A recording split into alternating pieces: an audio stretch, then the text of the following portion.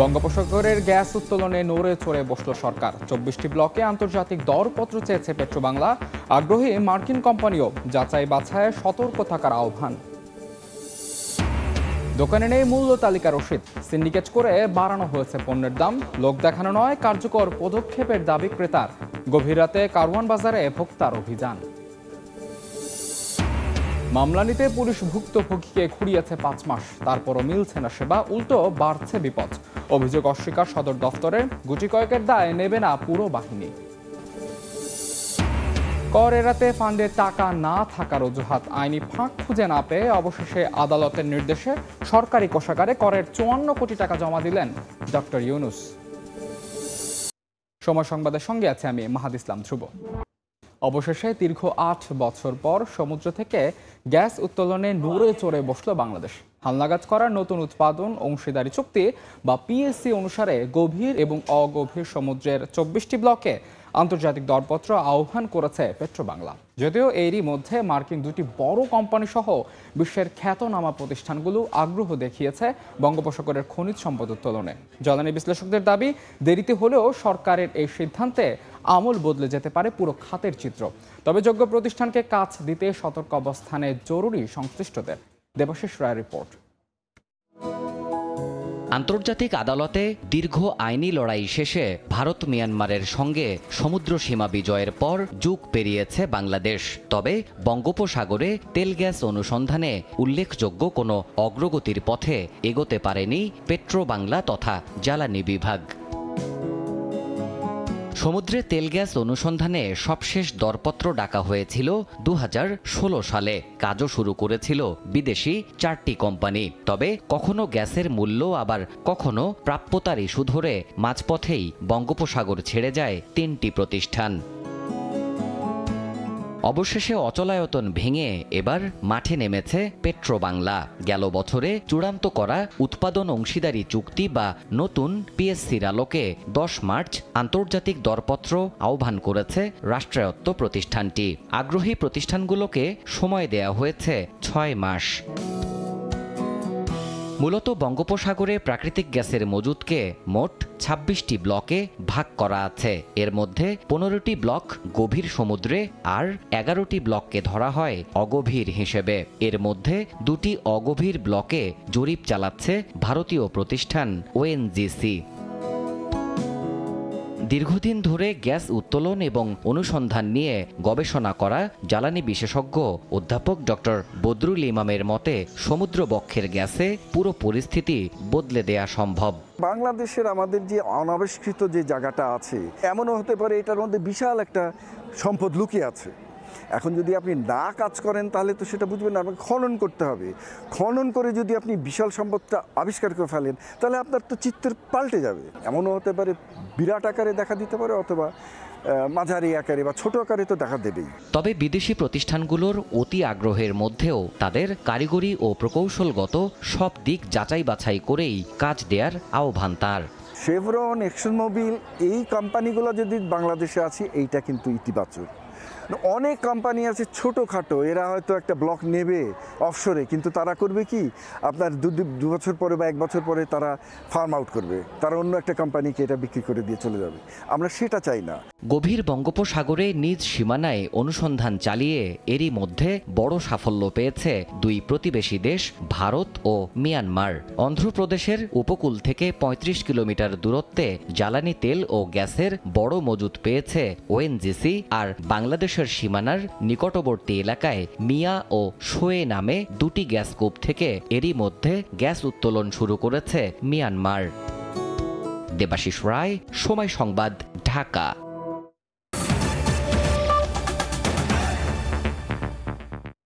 দেশে শীঘ্রই উৎপাদনে আসছে আরেকটি বিদ্যুৎ কেন্দ্র। জুন থেকে জাতীয় গ্রিডে নতুন করে যুক্ত হবে আরও এক হাজার তিনশো বিশ মেগাওয়াট বিদ্যুৎ। পটুয়াখালীর পায়রার পাশে নির্মাণাধীন আর এনপিএল পাওয়ার প্ল্যান্টে উৎপাদনে এলে এবার গরমে লোডশেডিং অনেকটা কমবে বলে আশা সংশ্লিষ্টদের। বিস্তারিত জানাচ্ছেন শিকদার জাবির হোসেন ক্যামেরা ছিলেন তৌকিব পেদা পটুয়াখালীর পায়রার পাশে নির্মাণাধীন তাপ বিদ্যুৎ কেন্দ্র আরএনপিএল এখন দৃশ্যমান। নির্মাণ কাজ প্রায় শেষ। শুরু হয়েছে টেস্টিং এবং কমিশনিং। আগামী মে মাসে শুরু হবে পরীক্ষামূলক উৎপাদন। জুনে জাতীয় গ্রিডে যুক্ত হবে তেরোশো বিশ মেগাওয়াট ক্ষমতা সম্পন্ন নতুন এ পাওয়ার প্লান্ট। প্রথমে যুক্ত হবে প্রথম ফেজের ছয়শো ষাট মেগাওয়াট। এর কিছুদিন পর উৎপাদনে যাবে দ্বিতীয় ফেজের বাকি ছয়শো ষাট মেগাওয়াট। অলরেডি আমরা আমাদের কমিশনিং এবং টেস্টিংয়ের কাজ শুরু করেছি আর আশা করছি পরীক্ষামূলক উৎপাদন শুরু করার পরে জুন মাসের মধ্যে ইনশাল্লাহ প্রথম ইউনিট থেকে ছয়শো ষাট মেগাওয়াট বিদ্যুৎ জাতীয় গ্রিডে সংযুক্ত করতে পারব। বিদ্যুৎ কেন্দ্রের কর্তৃপক্ষ জানায়, ঠিক সময়ে পাওয়ার প্ল্যান্টটি উৎপাদনে নিতে ইতিমধ্যে নেওয়া হয়েছে সব ধরনের প্রস্তুতি। তিন শিফটে দিনরাত কাজ করছেন প্রায় পনেরো হাজার শ্রমিক ও প্রকৌশলী। এর মধ্যে রয়েছে চীনের প্রকৌশলীরাও। কেন্দ্রটি উৎপাদনে গেলে দেশের বিদ্যুৎ চাহিদার দশ ভাগ পূরণ হবে। এতে গরমের সময় লোডশেডিং কমবে। বিসিপিসিএল টেন পার্সেন্ট দিচ্ছে সেক্ষেত্রে আরএনপিএলও টেন পার্সেন্ট যদি দেয় সেক্ষেত্রে গ্রিড মেনটেন্যান্সের জন্য যে কোনো পাওয়ার প্ল্যান্ট মেনটেন্যান্সের জন্য আমরা একটা ফ্লেক্সিবল একটা শিডিউল পাবো। চাইলেই আমরা যে কোনোটা অফ করে আমরা একটু কাজ করতে পারব। এ বিদ্যুৎ কেন্দ্রের পাশেই রয়েছে পায়রা তাপ বিদ্যুৎ কেন্দ্র। যেখান থেকে গত তিন বছর ধরে জাতীয় গ্রিডে যাচ্ছে তেরোশো বিশ মেগাওয়াট বিদ্যুৎ। এই মুহূর্তে দেশের দশ ভাগ বিদ্যুৎ উৎপাদন হচ্ছে পটুয়াখালী থেকে। আর নির্মাণাধীন এই বিদ্যুৎ কেন্দ্রটি উৎপাদনে গেলে দেশের বিদ্যুৎ চাহিদার বিশ ভাগই পূরণ হবে এখান থেকে। এতে করে লোডশেডিং কমে আসবে অনেকাংশে। শিকদার জাবির হোসেন, সময় সংবাদ, পটুয়াখালী। রমজানকে ঘিরে বরিশালে বেড়েছে নিত্যপণ্যের দাম। সপ্তাহের ব্যবধানে ছোলা, ডাল ও আলুর দামে বেড়েছে দশ থেকে পঞ্চাশ টাকা পর্যন্ত। গত বছরের তুলনায় এবছর দ্বিগুণ দামে বিক্রি হচ্ছে খেজুর। ভোক্তারা বলছেন, দুদিন পর পর লোক দেখানো অভিযান কোনো কাজেই আসছে না। সুজয় দাসের তোলা ছবিতে অপূর্ব রিপোর্ট। দরজায় করা নাড়ছে পবিত্র মাহে রমজান, আর এই সময়েই ভোক্তার চাহিদাকে টার্গেট করে অস্থির বরিশালের বাজার। এক সপ্তাহের ব্যবধানে পঁচানব্বই টাকার ছোলা ঠেকেছে, একশো দশ টাকায় এক লাফে চল্লিশ টাকা বেড়েছে মুগ ডালে, বিক্রি হচ্ছে একশো সত্তর টাকায় বাজারে, খেসারি বিক্রি হচ্ছে একশো দশ টাকায়, মুড়িতে কেজি প্রতি বেড়েছে দশ টাকা, চিরার কেজি ষাট টাকা, চিনি একশো চল্লিশ টাকা। এদিকে কেজি প্রতি পঞ্চাশ থেকে একশো টাকা বেড়েছে ফলের দাম পাঁচ টাকা বেড়ে আলুর কেজি পঁয়ত্রিশ টাকা। তবে দাম কমেছে সয়াবিন তেলের একশো তেহাত্তর টাকার পরিবর্তে বিক্রি হচ্ছে একশো বাষট্টি টাকায়। খেসারির দামটা বাড়ছে সোলার দামটা বাড়ছে তারপর যে আপনার তৈলের দামটা একটু কমছে। আলু হইতে শুরু করিয়া যেটি আছে সম্পূর্ণেরই দাম বাড়ছে কম বেশি। আমরা যেরকম কিনি সেরকম বিক্রি করি আমাদের কিছু করার নাই। গতবার যা বেচতাম পাঁচশো এবার বেচতেছি এক হাজার টাকা। ভোক্তারা বলছেন দুদিন পর পর লোক দেখানো অভিযান কোনো কাজেই আসছে না। রোজার পণ্য যা লাগে প্রত্যেকটি পণ্যের দামই বেশি। বাজার মনিটর না করলে ওই ব্যবসায়ীরা দাম বাড়াই দিতে আছে। অথবা সিন্ডিকেট হইতে আছে এই জন্য দাম বাড়তে আছে। আমরা চাই যে সরকারের কাছে যে প্রতিদিন মনিটরিং হোক আর সব মানুষের দাম কমে কমে বাজার নিয়ন্ত্রণে ভোক্তাদেরও সোচ্চার হওয়ার আহ্বান জানান ক্যাবের ঊর্ধ্বতন কর্মকর্তা আর জেলা প্রশাসকের ব্যবস্থা গ্রহণের দায় সারা আশ্বাস। পাইকারি বাজার যদি নিয়ন্ত্রণ করা যায় এবং সিস্টেমে আনা যায় তাহলেই খুচরা বাজারগুলো নিয়ন্ত্রণে আনা সম্ভব হবে। বাজারকে স্থিতিশীল রাখতে এবং দ্রব্যমূল্য ঠিক রাখতে জেলা প্রশাসন কাজ করে যাচ্ছে এবং সামনের দিনগুলোতে করবে।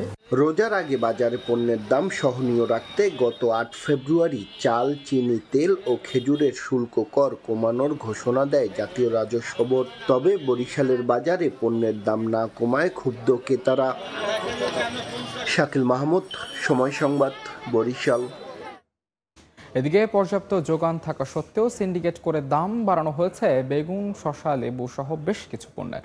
রোববার মধ্যরাতে রাজধানীর কারওয়ান বাজারে অভিযান চালিয়ে এমন সব অনিয়ম পায় জাতীয় ভোক্তা অধিকার সংরক্ষণ অধিদপ্তর। সপ্তাহের ব্যবধানে কারওয়ান বাজারে প্রায় বিশ টাকা বেড়ে গোল বেগুন বিক্রি হচ্ছে সাত টাকা থেকে পঁয়ষট্টি টাকায়। আর লম্বা বেগুন চল্লিশ থেকে পঁয়তাল্লিশ টাকায়। লেবু প্রতি হালি ষাট থেকে আশি টাকা আর শশার কেজি পঞ্চান্ন থেকে আটান্ন টাকা। অভিযানের সময় কোনো দোকানে মূল্য তালিকা এবং রসিদ পাওয়া যায়নি। এমন অসংখ্য অনিয়ম পেয়ে পাওয়া গেলেও অভিযান শেষে কারও বিরুদ্ধে ব্যবস্থা নিতে দেখা যায়নি। এ সময় শুধু সতর্ক করা হয় পাইকারি বিক্রেতাদের। রমজান উপলক্ষে এখন থেকে দিনের পাশাপাশি রাতেও এমন অভিযান অব্যাহত থাকবে বলে জানায় ভোক্তা অধিকার সংরক্ষণ অধিদপ্তরের কর্মকর্তারা। সামনে রমজান। আমরা দেখি যে রমজান আসলে ব্যবসায়ীদের একটা প্রবৃত্তি থাকে যে পণ্যের দাম বৃদ্ধি করে দেওয়া। এই বিষয়গুলো মনিটরিংয়ের জন্য আজকে আমরা এখানে এসেছি। কারণ বাজার রেল লাইন থেকে দশ গজ দূরে গিয়ে বেগুনের দাম বিশ টাকা বৃদ্ধি করে ফেলেছে।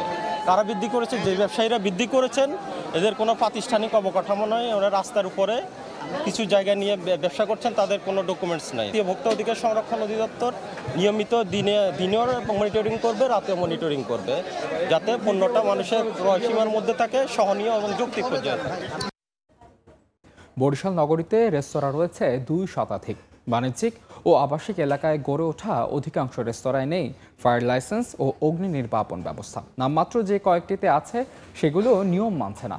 অগ্নি নির্বাপনের শর্ত না মানলে রাজধানীর বেইলি রোডের মতো ট্র্যাজেডি বরিশাল নগরীতেও ঘটতে পারে বলে শঙ্কা সচেতন মহলের। সুজয় দাসের তোলা ছবিতে অপূর্বপুর আরও একটি রিপোর্ট। বরিশাল নগরীর গির্জা মহল্লা এলাকার হাই ভোল্টেজ বৈদ্যুতিক খুঁটির পাশে কাঁচের দেয়াল তুলে রেস্তোরাঁর ব্যবসা শুরু করেছে কাচ্চি ডাইন। রেস্তোরাঁটি যে ভবনে করা হয়েছে সেখানে নেই জরুরি বহির্গমন পথ ও অগ্নি নির্বাপন ব্যবস্থার জন্য প্রয়োজনীয় কাগজপত্র। সময় সংবাদের উপস্থিতি টের পেয়ে তড়িঘড়ি করে বের করা হয় প্যাকেট করা অগ্নি নির্বাপন যন্ত্র। সংশ্লিষ্টদের দাবি, নতুন প্রতিষ্ঠান হওয়ায় এখনও সবকিছু গুছিয়ে উঠতে পারেনি তারা। লকটা তোমরা এইটা মনে হয় লক। মনে হয় কেন? আপনি জানেন না? আমি তো নতুন আসছি। কাগজপত্র আমরা করতে দিয়েছি আমাদের সবকিছুই এখনও এখনও ওদেরকে শেখানো হয় নাই। আমরা ইনশাল্লাহ কয়েকদিনের ভেতরে ওদেরকে প্রশিক্ষণ দিয়ে সুন্দর করে শিখিয়ে দিব।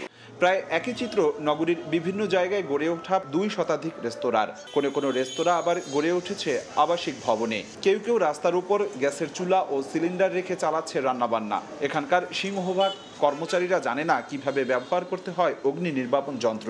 মালিক পক্ষের দাবি রাস্তায় গ্যাস সিলিন্ডার ব্যবহারে ঝুঁকি থাকলেও নেই দুর্ঘটনার সম্ভাবনা। সবসময় আমরা বলি সবাই করার জন্য যে যাতে সেইপে থাকা যায় সেই অবস্থা করার জন্য। আমরা এখন সবাই সতর্ক হওয়ার জন্য চেষ্টা করতেছি। গত চব্বিশে ফেব্রুয়ারি নগরীর রূপাতলী হাউজিং এলাকায় সুগার পেস্ট্রি অ্যান্ড ডাইন রেস্তোরাঁয় অগ্নিকাণ্ডের ঘটনা ঘটে। সচেতনদের দাবি সংশ্লিষ্টরা দ্রুত এ বিষয়ে ব্যবস্থা না নিলে রাজধানীর বেইলি রোডের মতো ট্র্যাজেডি বরিশাল নগরীতেও ঘটতে পারে। এ ব্যাপারে সিটি কর্পোরেশন প্রশাসন তাদের সকলকে এগিয়ে আসা উচিত এবং এই বিষয়ে কঠিনভাবে কাজ করা উচিত বলে আমি মনে করি। এ বিষয়ে জানতে চাইলে ক্যামেরার সামনে কথা বলতে রাজি হননি ফায়ার সার্ভিস ও সিভিল ডিফেন্সের কর্মকর্তারা। তবে নিরাপত্তার স্বার্থে অগ্নি নির্বাপনের ক্ষেত্রে ঝুঁকিপূর্ণ রেস্তোরাঁর বিরুদ্ধে দ্রুত ব্যবস্থা নেওয়ার কথা জানায় পুলিশ। আমরা দেখব যদি এরকম কোনো ঘটনা আমরা থেকে থাকে তাহলে আমরা তাদের বিরুদ্ধে ব্যবস্থা করব। বরিশাল ফায়ার সার্ভিস ও সিভিল ডিফেন্সের তথ্য মতে সবশেষ দু সালের ডিসেম্বরে নগরীতে ফায়ার লাইসেন্স না থাকা রেস্তোরাঁগুলোর বিরুদ্ধে অভিযান পরিচালনা করা হয়েছিল। এ সময় নগরীর পঞ্চাশ শতাংশ রেস্তোরাঁর ফায়ার লাইসেন্স না থাকার তথ্য পাওয়া গিয়েছিল।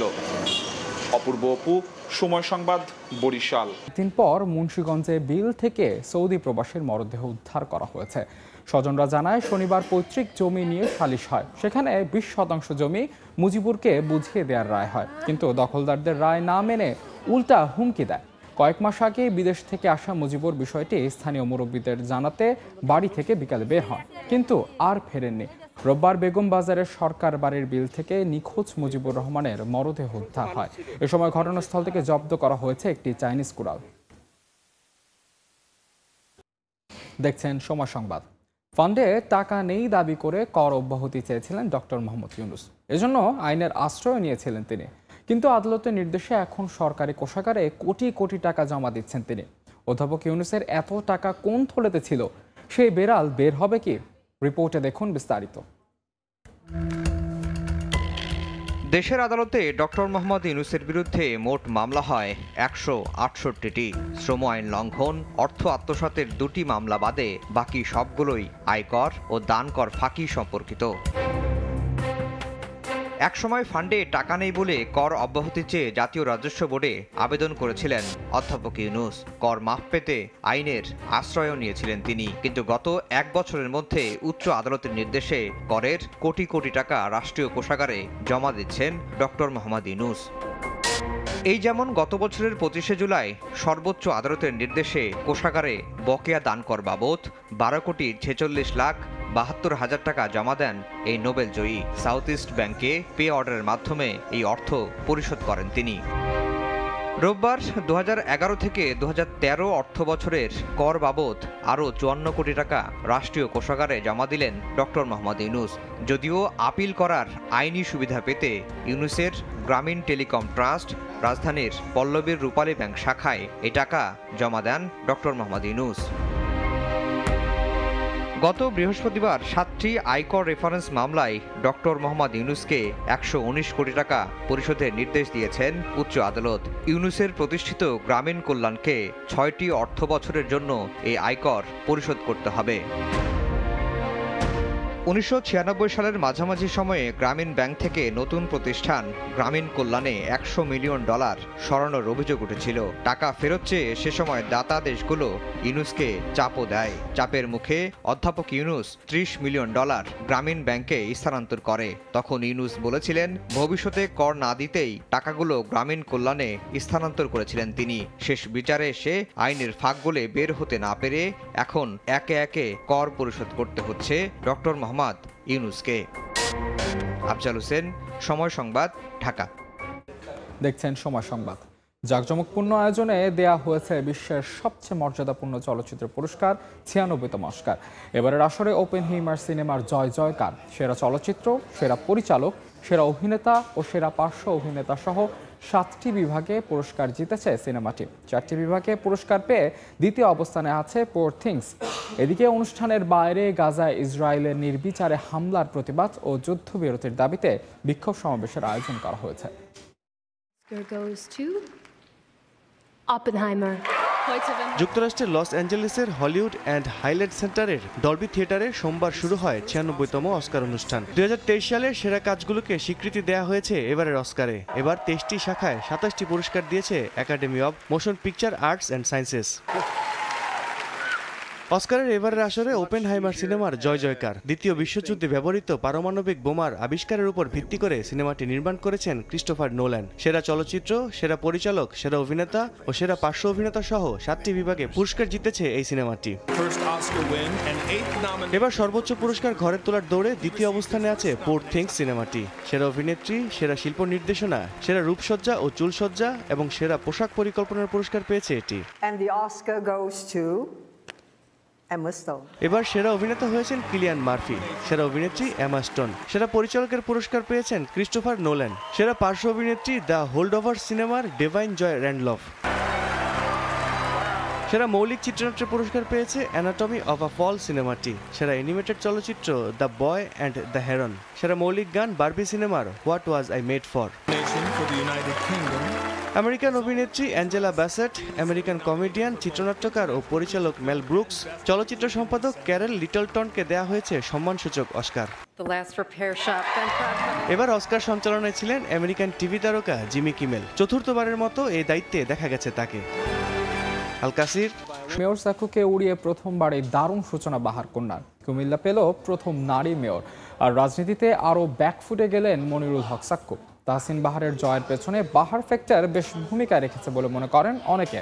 তবে পর্যবেক্ষক মহল বলছে, জনপ্রিয়তা থাকলেও রাজনীতিতে নিষ্ক্রিয়তাই ডুবিয়েছে সাকুকে এমনকি বাহার সক্ষতার কারণে বিএনপিকেও খুব একটা পাশে পাননি কুমিল্লা নগরের সাবেক অভিভাবক।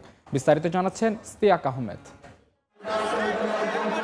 অভিজ্ঞ রাজনীতিবিদ ও দুইবারের মেয়রের বিরুদ্ধে শক্ত লড়াইয়ের ঘোষণা দিয়ে শেষমেশ সফল হলেন তাসিন বাহার সূচনা। ভোটযুদ্ধের শুরু থেকেই বাহার ফ্যাক্টর নিয়ে যে আলোচনা, তাও বাস্তবে রূপ নিল। কুমিল্লাও পেল প্রথম নারী মেয়র আর সূচনাতে বাজিমাত বাহার কন্যা সূচনার। ভোট শেষে নগর জুড়ে আলোচনায় থাকলেন বিএনপির সাবেক নেতা মনুল হক সাক্কু। বিশেষ করে দুইবারের মেয়র হিসাবে দায়িত্ব পালন করেও তাসিন বাহারের চেয়ে অর্ধেক ভোট পেয়েছেন তিনি। এক্ষেত্রে সাধারণ মানুষ, রাজনৈতিক দলের নেতাকর্মীদের পাশাপাশি রাজনৈতিক পর্যবেক্ষক মহলও শুধু বাহার কন্যা হওয়াই মূল কারণ হিসেবে দেখছেন না। টানা দুই মেয়াদে দায়িত্ব পালন করা মেয়র সাক্ষুর পরাজয়ের নেপথ্যে দীর্ঘদিন রাজনীতিতে সক্রিয় না থাকাকে বড় ফ্যাক্টর হিসেবে দেখছেন বিশ্লেষকরা। তার মেয়র থাকাকালীন তার ব্যক্তিগত যে জনপ্রিয়তা, তার ব্যক্তিগত যে গ্রহণীয়তা ছিল, সেটাকেও তিনি পরিপূর্ণভাবে ভোটের মাঠে কাজে লাগাতে পারেছেন। এটা আমার কাছে মনে হয় না। সূচনা মাননীয় সংসদের কন্যা এবং সে কিছুদিন বেশ কয়েক বছর ধরেই উনি তো পিতার ছত্রছায় কুমিল্লা রাজনৈতিক এবং সামাজিক অঙ্গনে কাজ করতেছিলেন। ফলে ইতিমধ্যে তার একটা পরিচিতি গড়ে উঠেছিল।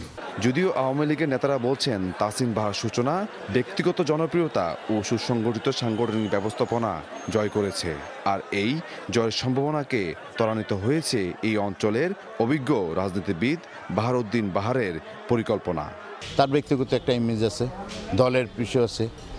আমাদের মাননীয় সংসদ সদস্য আকম বাহাদুদ্দিন বাহার মহোদয়ের একটা বিষয় আছে। সব কিছু মিলিয়ে এবং ওনার যে উন্নয়ন কুমিল্লাতে উন্নয়ন সব কিছু মিলিয়ে একটা গর্জর সৃষ্টি হয়েছে। প্রত্যেকটা লেভেলে আমাদের নেতাকর্মীরা কাজ করেছে যেটা অন্য কোনো প্রার্থীর নাই। তো অন্য কোনো প্রার্থী না থাকলে তো আমাদের বিজয়টা তো সুনিশ্চিত হবেই। কুমিল্লার রাজনীতিতে যে বাহার ফ্যাক্টর তা আরও একবার জিয়ে রাখল এই সিটি উপনির্বাচন। দুই হাজার বারো সাল থেকে বাহাউদ্দিন বাহারের সাথে বেশ সক্ষতা ছিল মনিল হক সাক্কুর। সেই সক্ষতার কারণে সাক্কুর নিজ দলের অভ্যন্তরে ব্যাপক তোপের মুখেও পড়েন। তবে দুই হাজার বাইশ সালের সিটি নির্বাচনে বাহার ও সাক্কুর সম্পর্ক ফাটল ধরে। নির্বাচন ঘিরে দুই নেতার এ বাকযুদ্ধ টক অব দ্য টাউনে রূপ নেয়। ইশতিয়াক আহমেদ, সময় সংবাদ, কুমিল্লা। জাতীয় প্রেসের শীর্ষ সংবাদগুলো জানিয়ে দিচ্ছে আরেকবার। বঙ্গোপসাগরের গ্যাস উত্তোলনে নড়ে চড়ে বসল সরকার। চব্বিশটি ব্লকে আন্তর্জাতিক দরপত্র চেয়েছে পেট্রোবাংলা। আগ্রহী মার্কিন কোম্পানিও যাচাই বাছায় সতর্ক থাকার আহ্বান। দোকানে নেই মূল্য তালিকা রসিদ। সিন্ডিকেট করে বাড়ানো হয়েছে পণ্যের দাম। লোক দেখানো নয় কার্যকর পদক্ষেপের দাবি ক্রেতার। গভীর রাতে কার্বন বাজারে ভোক্তার অভিযান। এবং মামলা নিতে পুলিশ ভুক্তভোগীকে খুঁড়িয়েছে পাঁচ মাস। তারপরও মিলছে না সেবা, উল্টো বাড়ছে বিপদ। অভিযোগ অস্বীকার, সদর দফতরের গুটি কয়েকের দায় নেবে না পুরো বাহিনী।